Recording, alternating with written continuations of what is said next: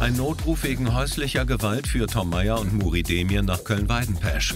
Offenbar hat einer der Beteiligten bereits das Hab und Gut aus dem Fenster befördert. Arnold für die 1337. Ja, ne? Von da oben ist es gekommen. Das sieht aber noch Frauenklamotten aus, ne? Ja. Sind vor Ort aus dem Kfz. Komm, dann gehen wir mal oben mal gucken. Dürfte hier jetzt nichts passieren. Wir lassen, lassen Sachen erstmal liegen. Klären erstmal vor Ort mal, was hier Sache ist. Gebel war das, ne? Gebel. Gebel. Warte mal, ich kann mal klingeln. Da steht's. Ja? Hallo? Oh, Moin, hallo. Wohnen Sie hier? Ich schätze mal, nee, ich wohne hier nicht, aber ich wurde hier hingerufen.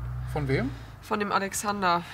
Der hat über Sabines Handy geschrieben, dass äh, ich sie abholen soll, weil er hat Schluss mit ihr gemacht. Aber sie will nicht aus der Wohnung gehen. Wie heißt der mit Nachnamen, der Alexander?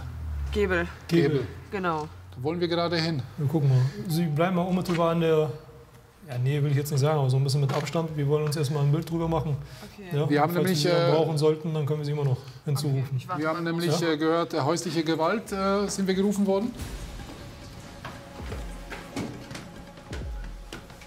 Und Sie sind die Freundin von dem Alexander. Nein, von der Sabine. Von der Sabine, so war das, ja genau.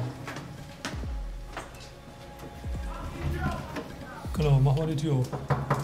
Hier ist die Polizei, machen Sie die Tür auf. Moin, hallo. Alles gut bei Ist gut Ihnen? bei Ihnen? Kommen Sie rein. Ja? Ja? Okay. Okay. Haben Sie, Sie haben hier eine Verletzung hier, ne? Also wissen Sie? Brauchen Sie einen Arzt? Sie haben eine Verletzung hier. Gehen Sie mal ein Stück nach hinten, gehen Sie mal in den Raum mal rein, haben wir ein bisschen mehr Platz. Ja?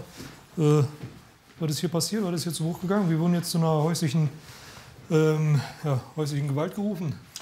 Ja, äh, gut, dass Sie hier sind. Also, ähm, hier ist äh, Sabine. Äh, ich, hatte mit der, ich hatte mit der mal was gehabt, und, äh, aber sie will jetzt nicht gehen.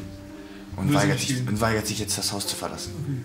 Sie wohnen aber hier, oder? Ja, ja, ich kann ja Das auch. heißt, es ist nicht mehr Ihre Freundin jetzt, die Nein, nein. Ex-Freundin? Nein, die will, mit der will ich nicht mehr. Ah, Larissa. Ja, wo ist denn Sabine? Die ist da drin, hat sich eingesperrt. Okay. Dann, wir versuchen mal ein bisschen auf Sie drauf einzureden. Bleiben Sie mal kurz mal im Hintergrund.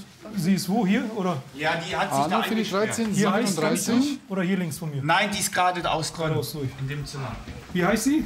Sabine. Mach mir eine EMA von den Gebel Alexander. Sabine? Hier ist die Polizei. Würdest du einmal kurz bitte aufmachen? Ja, weil wir hier zu einer äh, häuslichen Gewalt gerufen worden sind. Anonym. Und wir würden jetzt gerne mal, uns mal mit dir mal unterhalten wollen. Kannst du mal bitte mal einmal aufmachen? Nein, bleib hier, ich komme hier nicht raus. Ja, warum willst du denn da nicht rauskommen? Ich verstehe das jetzt nicht. Wir sind von der Polizei und wir wollen dir helfen. Ja, anscheinend ja nicht, weil die Klamotten ja quasi aus dem Fenster Ja. geflogen sind. Ich glaube nicht, alles, alles okay ist. Mach mal kurz bitte mal auf. Herrgott, mach die Tür auf, Mann. Ey, was soll der ganze Scheiß? Wieso will sie nicht? Nur zwei Möglichkeiten. Ähm, Ja, mit. Mutti, ich habe jetzt noch überprüfen lassen, ob der Herr Gebel auch hier tatsächlich gemeldet ist. gemeldet. Also der ist gemeldet, sie ist nicht gemeldet. Äh, so, guck mal, nochmal die letzte Ansage mal, ja? Es ist auch nicht böse gemeint. Wenn du aufmachst, dann können wir über alles reden, dann können wir auch vielleicht sogar helfen, ja? Ansonsten müssten wir vielleicht sogar versuchen, die Tür gewaltsam aufzumachen. Und das wollen wir nicht, dass wir jetzt hier irgendwelche Sachen beschädigen. Wo ist denn Alex?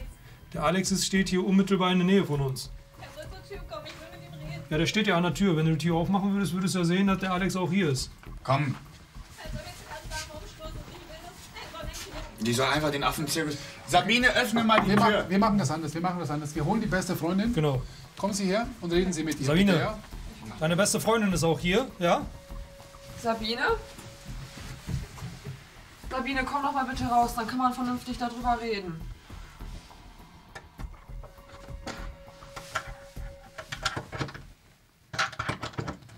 Genau, ins Wohnzimmer gehen und dann. Also, Sabine, Ja. komm, mal, komm mal rüber. Wir gehen mal alle mal zusammen ins Wohnzimmer. Genau. Alles wird gut. Komm, geht mal ruhig vor. Ja? Alex. Alex, ja. Und wir können jetzt äh, im Prinzip, wenn du reden magst, dann würden wir auch gerne mal über die Situation reden wollen, wie es überhaupt hier zustande gekommen ist. Uns wurde nur gemeldet, häusliche Gewalt, Sachen fliegen aus dem Zimmer oder aus dem Fenster, liegen unten. Ja, er hat eine Verletzung. Die Sachen liegen auch hier, es ist zu Bruch gekommen. So, jetzt würden wir mal vielleicht mal deinen Sachverhalt mal hören wollen, wie es eventuell zustande gekommen ist. Wir sind zusammen und glücklich. mehr und zusammen. ich verstehe die Welt überhaupt nicht. Auf einmal macht er hier Schluss mit mir und ich dachte, wir lieben uns und Und ich weiß überhaupt nicht, was hier los ist. Ja, dann haben wir ja was Gemeinsames, weil wir wissen es ja auch nicht so ganz genau. Ne? Die hängt an mir wie eine Klette, die soll einfach das Haus verlassen, dann ist gut. Okay, das ist, Sie sind natürlich. Nein, geh weg, Moment, geh weg. das ist richtig, Sie sind Inhaber des Hausrechts. Ja. Das ist vollkommen in Ordnung.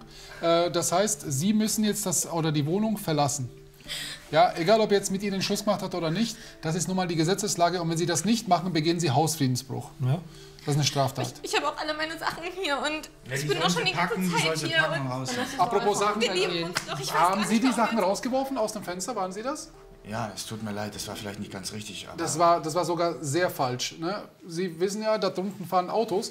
Wenn das jemanden auf die Windschutzscheibe fällt und der baut hier einen Unfall, sind Sie mitverantwortlich. es tut mir leid, ich habe vielleicht überreagiert, aber äh, Definitiv. bitte, Definitiv. Wie ist, es zu der, wie ist es zu der Wunde gekommen, da an der Stirn? sie hat eine Tasse nach mir geworfen und hat ihr alles zertrümmert.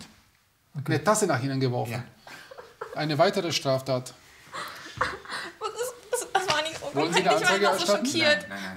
Wenn sie geht, ist alles in Sie Ordnung. wollen keine Anzeige wegen äh, Körperverletzung. Nein, ich, ich bin froh, wenn sie geht. Ich, Alex, Nein, lass- jetzt lass geh, uns doch geh, mal geh. reden. Bleib doch lieber hier. Lass uns lieber runtergehen. Manchmal, Sie manchmal. gesagt, erklärt mir, was los ist. Und ich bin jetzt rausgekommen Genau, und der hat ja mir erklärt, genau, ganz, ganz ruhig, ganz ruhig. Jetzt nicht so extrem emotional darauf reagieren. Er hat im Prinzip gesagt, er möchte eigentlich mit dir nichts mehr, es hört sich jetzt ganz schlimm an, ja, er möchte mit dir nichts mehr zu tun haben wollen. Das ist sein gutes Recht. Ich weiß, es tut weh, ja, aber ähm, wir können uns jetzt erstmal so, ja, ich sage mal, verständigen, dass wir sagen, äh, du nimmst erstmal deine Sachen, die du eben halt brauchst, ja, packst vielleicht zusammen oder wie auch immer, schläfst eine Nacht drüber. Ich denke mal, vielleicht äh, unterkommend äh, bei Fall. Ja. Nach der nur zweiwöchigen Beziehung wird die junge Frau hoffentlich bald über die Trennung hinwegkommen. Vor dem Haus zeigt sich jedoch, offenbar hat noch jemand eine offene Rechnung mit dem Herzensbrecher. Tom, rechts von dir. Alles gut, alles gut, alles gut, alles gut. Was ist denn los, Herrschaften? Ja, ich muss zum Alex. Was, was, was, warum? Zum, Herr, zum Herrn Gebel? Ganz ruhig. Ja. Warum, was ist denn los? Ja, sehen Sie mal her. Das ist meine Schwester und das ist der Alex. Was soll der Quatsch? Das ist im Internet. Schauen Sie mal her. Sie sind Er wer? hat's aufgenommen. Sie sind wer? Ich bin äh, Jana. Jana. Jana ist. Das kann doch gar nicht wahr sein. Sein Bruder, äh, ihre Schwester. Das ist, das ist Er- Ihre Schwester er und das kann ist der Herr. Gebel. Okay. Richtig. Er kann was Okay. erleben. Das, das, das, das, das geht ja gar nicht. Was heißt das für uns? Wir gehen äh, kurz nochmal hoch. Äh, quatschen das mal. Was mich aber erstmal interessieren würde, ist es gegen Ihren Willen veröffentlicht worden? Ja, ich habe ich hab nie was davon zugelassen. Ich wusste das nicht. Okay, alles klar, Sie können das, glaube ich, ausmachen, ne? So. Das heißt, es ist gegen Ihren Willen aufgenommen worden, oder beziehungsweise ohne Ihr Wissen aufgenommen und ohne Ihren Willen veröffentlicht Ja, worden. ich habe. Ja, er hat mir einfach einen Link geschickt und dann habe ich dieses Video gesehen. Sie waren mal zusammen. In einer Beziehung oder jetzt Ja. nur für einen One-Night-Stand oder? waren, wir waren zusammen. Sie waren zusammen. Okay. Gut, dann machen wir das Spielchen nochmal, gehen wir hoch. Vielleicht freut er sich, wenn er uns nochmal sieht. Plötzlich geht es um wesentlich mehr als eine unschöne Trennung. Hat der junge Mann tatsächlich die Sexvideos seiner Verflossenen online verbreitet? Würde heißen für uns, Schlafzimmer. Wir wollen das Schlafzimmer gerne sehen. können wir, sprich nichts Ja. dagegen. Gehen Sie mal ruhig vor.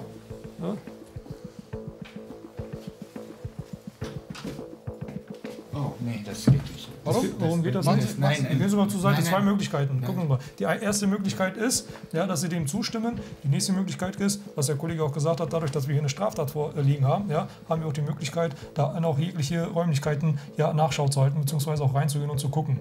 Ja? Können Sie suchen. Wollen Sie Antwort äh, A oder B? A oder B? Genau. Ja. Das ist wahrscheinlich ein Programm, womit man halt äh, irgendwelche ähm, ja, aufgenommene Videos oder Filme oder je Wir nachdem haben äh, hier äh, bearbeitet wahrscheinlich, ne? Zu den Vorwürfen der Polizeibeamten schweigt der Verdächtige. Die Beweise sind allerdings eindeutig. Herr Gebel, wir müssen jetzt das nicht durchdiskutieren. Wir haben Sie jetzt äh, aufgeklärt, Sie leben auch nicht auf dem Mond, Sie verfolgen bestimmt auch die Nachrichten und Medien äh, und äh, Sie wissen ganz genau, wie sensibel äh, äh, das gehandhabt hat, gerade in Deutschland.